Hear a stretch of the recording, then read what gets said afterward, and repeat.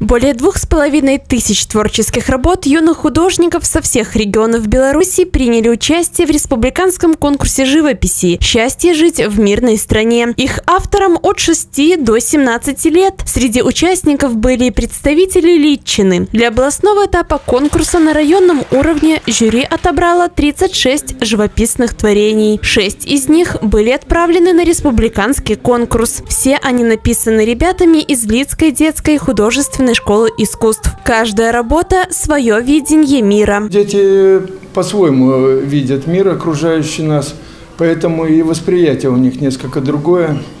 Они видят больше прекрасного, то, что сегодня их радует, то, что сегодня запоминается, то, что впечатляет, то, что они хотят, по крайней мере, сегодня видеть. И поэтому то, что вот э, дети приняли участие в конкурсе «Счастье жить в мирной стране», наверное, это э, радость того, что их окружает, радость того, что мы сегодня видим, что дети прекрасной стране, прекрасно живут, прекрасно учатся и получают прекрасные результаты. По условиям конкурса на республиканском этапе от каждой области и города Минска жюри выбирало лучшие работы в трех возрастных категориях. 18 вошли в книгу «Альбом. Дети за мир. Рисунки». 9 стали участниками республиканской выставки «Дети за мир». Авторы трех названы победителями республиканского конкурса живописи «Счастье жить в мирной стране». В числе отметок отмеченных и 12-летняя личанка Дарья Завала. Уже три года девочка занимается живописью в детской художественной школе искусств у педагога Татьяны Лукиан. Именно она и предложила юной художнице поучаствовать в конкурсе «Счастье жить в мирной стране». Девочка сразу согласилась, ведь тематика ей очень близка, и картина, которую можно было представить жюри, уже была практически написана. Три недели ушло на доработку картины. В результате на холсте с помощью гуаши и кистей Даша создала признание в любви к своему городу. Летом на пленэре я рисовала эту, ну, Лицкий замок.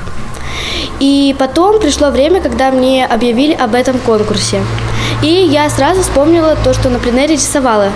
Что-то похожее нашла эту картину и решила перерисовать ее. Картина Дарьи Завала была признана одной из лучших на областном этапе конкурса живописи, а позже и на республиканском. Эта работа Личанки внесена в альбом «Дети за мир. Рисунки». Важность и хрупкость мира пытался передать красками и личанин Михаил Дядчик. Его работа была среди шести представленных нашими земляками на областном этапе конкурса «Счастье жить в мирной стране». Семь лет Миша посещал Лицкую детскую художественную художественную школу искусств и под руководством педагога Инны Вигеры постигал секреты живописи и других направлений. Для конкурса он написал картину «Беларусь над водной гладью». Причем на работу над ней у него ушло лишь два дня. Меня вдохновили пейзажи Беларуси. На картине изображено, изображен пейзаж Беларуси, озеро и домик в деревне. Рисовала я гуашу. Гуашь мне нравится, потому что она чуть-чуть гуще, чем акварель. Гуашу можно исправить недочеты, акварелью ты там придется начинать все заново.